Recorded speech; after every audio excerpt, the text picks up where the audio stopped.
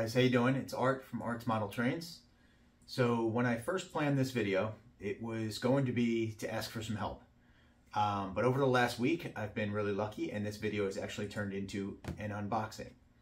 So the story behind that is um, I picked up this Legacy engine two, three months ago. Uh, it's the first one I've picked up and it was New York Central and my plan all along was to get New York Central passenger cars to go with it. And I found these MTH passenger cars. It's a four pack uh, from 1998 that um, I saw these on eBay and I asked my wife, you know, can you get them for me for my birthday? And she said yes. And then I found the two pack add-on that went with it and I asked her to order those at the same time so we'd have all the cars in one shot. Well, four pack shows up, no problem. When the two pack showed up, it was the wrong cars. So I was able to work with the seller and return them.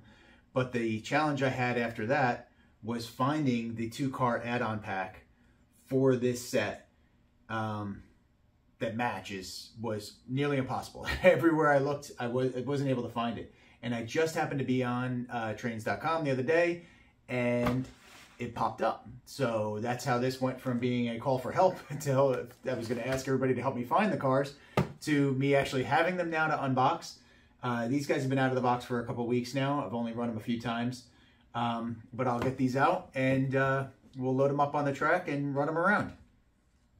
Okay, so let's start by opening these up. This is the first time I've pulled these out of the box, actually. So let's see what they look like.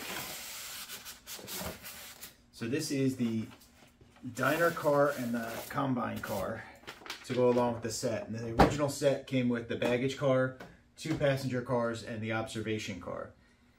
Uh, these are, as you can tell from the box, um, Rail King, um, so they're not scale.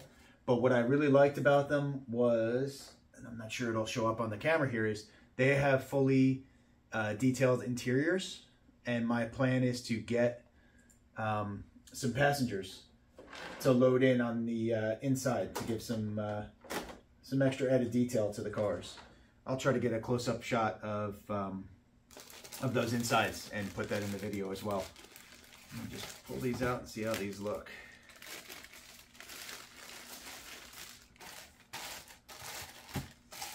All right, so this one's the combine. Actually, should check. Wow, these look like they're in great shape. So this is the the combine.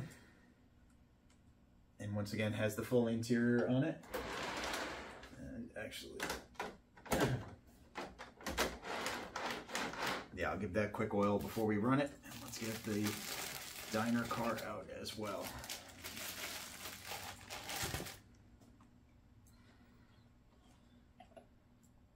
Yep, so once again, I'll try to get a close-up shot of that at some point, but you can see inside there, there's actually little tables and everything. So I'll get some figures. I don't know if they have passenger figures. I don't know if they have figures that are actually eating to put in this car, but these look like they're in great shape. Um, the box looks like it has a little bit of water damage on it, but there's no signs of that on any of the cars, which is great. So let me let me get them oiled up and um, throw some smoke fluid in the train, and we'll run it around. So here's a close-up of the cars, and you can see inside the combine car some passenger seats, and then if I move over here to the diner car, you'll see the tables I was talking about and then obviously in just the passenger seats in the passenger cars. These are my first set of Rail King um, MTH passenger cars, and I was really impressed with the quality. Though they got some good weight to them. They come with the baffles between uh, the cars. They do need to be cleaned a little bit. If you can see they're a little bit, um, looks like the rubber's just been a little like worn, and I just have to clean it a little bit, freshen it up. But the cars are really nice.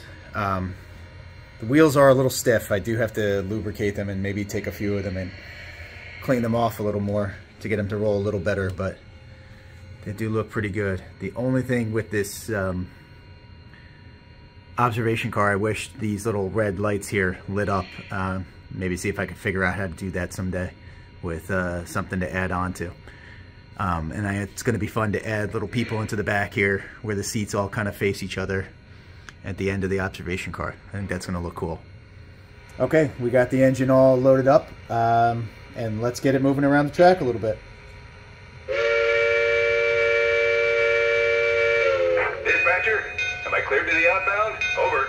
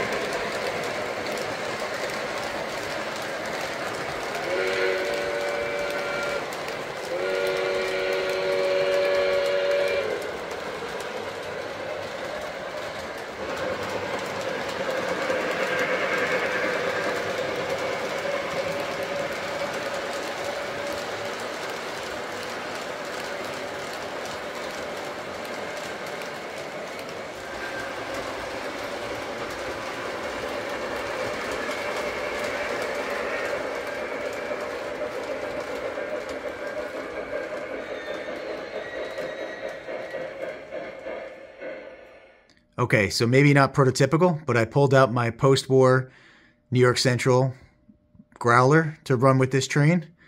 The gray is pretty close, so let's see how this runs.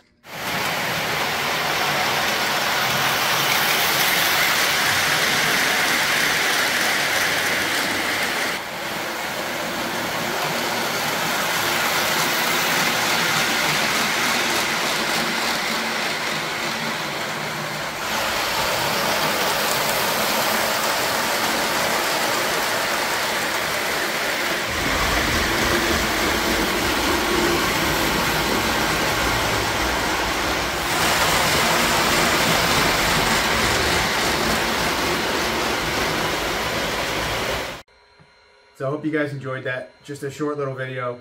Uh, great little passenger cars. Um, I was really looking for the detailed interior and the uh, styling. Um, so to me, when I found these uh, for the price, they were totally worth it.